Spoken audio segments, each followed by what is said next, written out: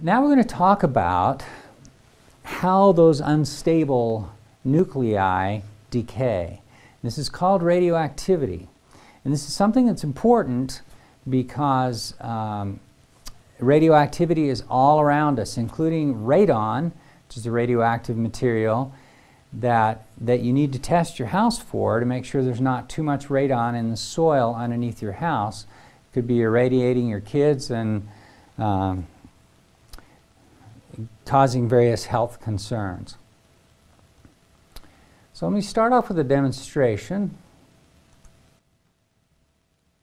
Today I'm going to demonstrate some radioactive materials that we, we see in everyday life. This is a Geiger counter, and the back side of it detects uh, radioactivity. In each of these three sources, one, two, three, the source of radioactivity is alpha particles, which is the helium nucleus emitted by the radioactive material. This, uh, this is a Coleman lantern, has a little a lantern mantle that goes in a Coleman stove. It has um, some uh, thorium in it that's radioactive. This is a smoke detector, and it has um, americium, also a radioactive material, to help to detect um, smoke. So quite a good bit of um, radioactivity there. This is a piece of um, Fiesta ware, a dinner plate with a glaze that has uranium oxide in it. These were manufactured before World War II, and in fact, there was enough uh, radioactivity in one of these plates that a woman placed a plate in a bag with some x-rays, and the plate took a picture of itself on the, on the x-ray plates.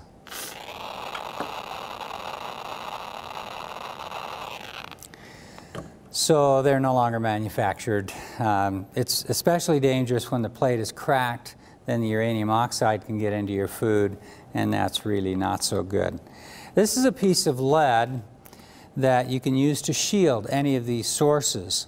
Alpha particles aren't that energetic, and, um, and all you need to shield yourself from, say, say this Coleman mantle is this um, lead.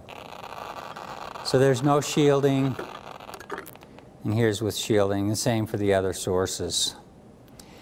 Um, so if you want to protect yourself against uh, various sources of radioactivity in your life, I suggest a lead suit.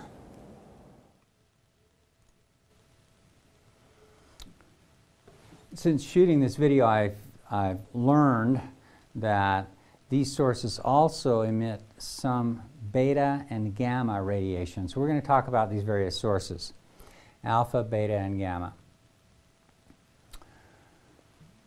So if you've got a radioactive material, like uh, one of the sources that we select a piece of that Fiesta ware, and it's in the presence of a magnetic field that's into the paper. So magnetic field is into the screen in this case, the, what's found is that, there are two different types of radioactive particles emitted by the radioactive material that respond to the magnetic fields. One is called the alpha particle, and it turns out it's, well, we can determine from this figure that it must be positively charged. How so?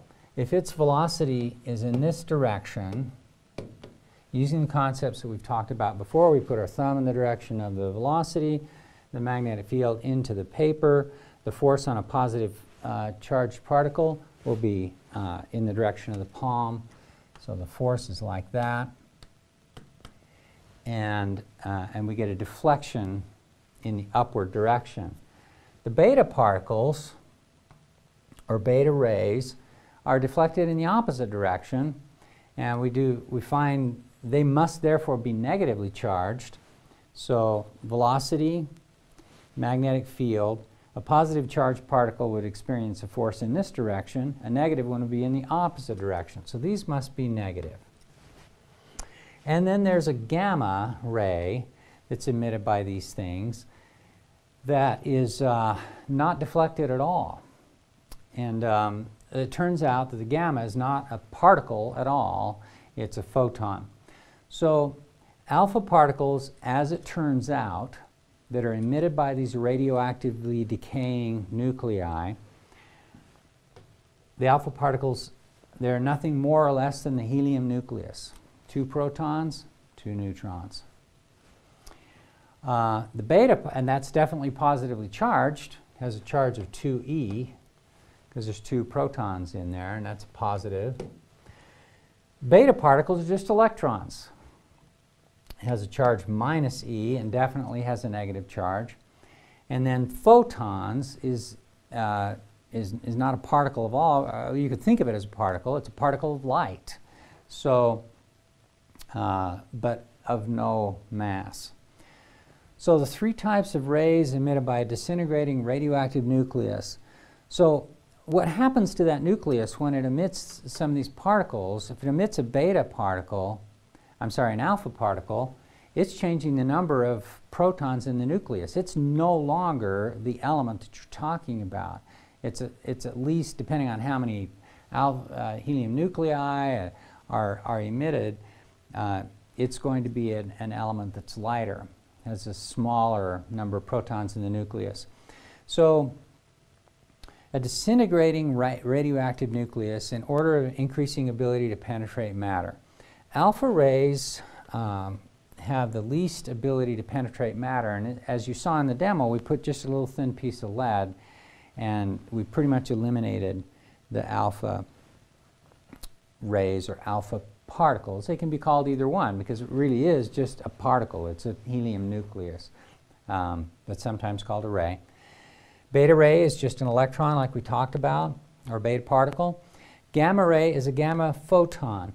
Now let's uh, remember about um, the electromagnetic spectrum and uh, the various wavelengths of different uh, materials. Uh, the longest wavelengths and the least damaging to the human body were radio waves. And then moving to shorter and shorter wavelengths, we came to infrared, then to visible, then to ultraviolet, then to X-rays, and then to gamma rays are the, are the ones that we talked about. Two, three, four, five, six, yeah. And um, gamma rays were by far the shortest wavelength and most energetic. If the wavelengths are short, remember in the, a couple chapters ago we talked about the energy of a photon is Planck's constant times the frequency. But if the wavelength is small, then the frequency must be high.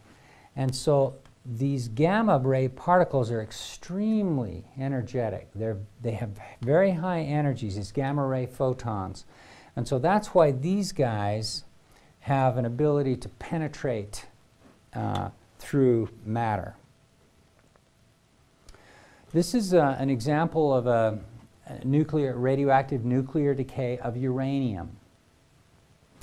Uranium-238 is a radioactive um, atom, radioactive nucleus, with 92 protons and a total atomic uh, nucleon number of nucleon number of 238. That decays into thorium with instead of 92, 90, and instead of 238, 234, plus this helium nucleus. And you say, well, that's just an alpha ray. And I say, it sure is. That's an alpha ray with a nucleon number of 4. So quite clearly 238 minus 4 equals 234. And a number of protons of 2, which is clearly 92 uh, minus 90 gives 2. So this is an alpha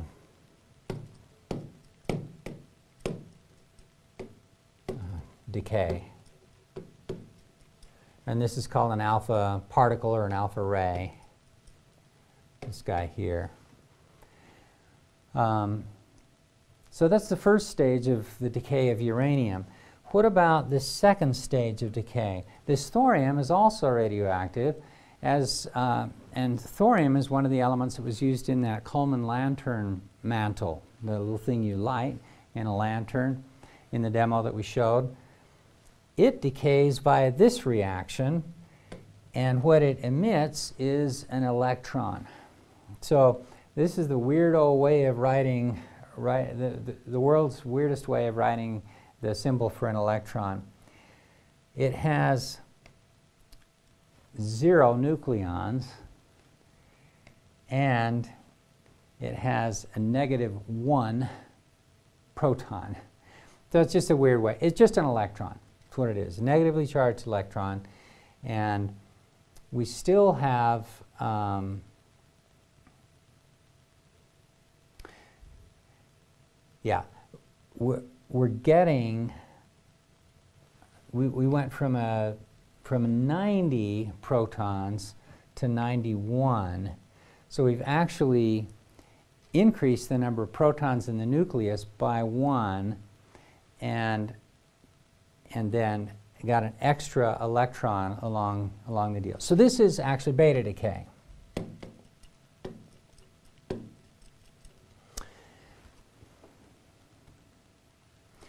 All right.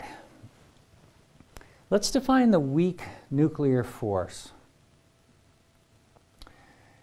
It is, and, and again, the level of math required to really study the weak nuclear force is way beyond the level of this class. It's a graduate uh, physics level. But I want you to get a taste for what these forces are because it relates to the, the entire force of, of nature, the, the three fundamental forces of nature. So the weak nuclear force is responsible for the emission of beta rays. So what's a beta ray? You say it's an electron, and I say yes it is. Um, beta decay also can be in the form of a positron, which is a positively charged electron, which I haven't really talked about. But so that's just a statement of fact. It's this weak nuclear force that is required to build into the theories in order to understand this radioactive decay through beta decay. The electroweak force, as we talked about in the very second slide of the whole um, chapter, the weak nuclear force, that's this force that's responsible for beta decay. The electric force, and what's the electric force? I'm talking about F equals Q E. That's the electric force. It's just you place in a, a, place a charged particle in an electric field and it experiences a force. The magnetic force, that is the one where we have the magnitude of that magnetic force was Q, the charge, times the speed of the particle. We got zero force if the speed was zero, times the uh, strength of the magnetic field times the angle, sine of the angle between the force, uh, between the velocity and the magnetic field. And then we use the right-hand rule with the thumb in the direction of the velocity, fingers in the direction of the magnetic field, like we talked about before, um, and the palm pushes in the direction of the force. So the the three of these forces seem very different. The electric force, the weak nuclear force, or sometimes just called the weak force, um, but they are, thanks to the work uh, by Glashow, Salam, and Weinberg in, in 1979, they received a Nobel Prize for their theoretical work that united these three forces and showed that these three forces that seem so very different from each other are actually man different manifestations of the same fundamental force called the electroweak force. So there's a lot of physics in the electroweak force. Ultimately, that's the, the force, uh, uh, uh the normal force comes from them. Uh, friction forces is ultimately uh, due to the electroweak force. And um, the only things that are not included in this electroweak force are the strong force that binds the nucleons together and gravitation. So your three fundamental forces of nature, like we did, in, like we showed in the second slide, is the electroweak. So these forces are the same.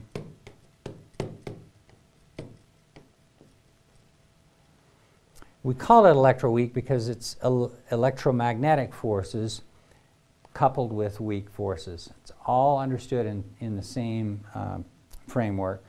Gravitational forces and strong force. Those are the three, three basic forces of nature. And you might say, well, do you think there's ever, there ever might come a time when we can understand gravity in terms of the strong force, or the strong force in terms of the electroweak force? Are those three fundamental forces different manifestations of the same fundamental, overall, overarching force? And most physicists that you would ask that question to would say, yes, we think they are different manifestations of the same force. And the person who is able to show that they are will get a Nobel Prize. I'm not on the Nobel Prize committee, but they will, because that is like the holy grail of physics. Uh, a couple of applications, gamma knife or radiosurgery. So um, there's a radioactive cobalt atom that's used as a source and it emits gamma rays. What's gamma rays? They're not particles, they're just electromagnetic waves. So these gamma rays go down through these um, perforations in this giant helmet, and then they're, they're focused in on a particular target, a cancer, tumor, or um, a, a blood vessel that's an aneurysm in the brain, etc. And it destroys that tissue. The, the cool thing about the gamma knife is that since the since the rays are focused on a particular spot, these the amount of of gamma rays that is received in the healthy tissue outside of the target, the, the damage is very small. And, and so you can target, you can get into a, a tumor that's deep within the brain without having to cut through layers of healthy tissue and damage healthy tissue in the process. It's an amazing, uh, am amazing process. Um, another use of radioactivity. I actually did this one time. You get on a treadmill and then they inject you with a little bit of thallium, which is a radioactive material and it emits um, gamma rays also. And so you, you get on a treadmill, you get your heart rate up, and then they inject the thallium in there, and then they take they have to take an image of the uh, of your heart muscle, and places where the thallium concentrates uh, means that you're getting good blood circulation to that, that part of the heart, but where you see in the image um, that there, there isn't as much blood, that's an indicate, could be a possible indication of, um, of arterial blockages in the heart.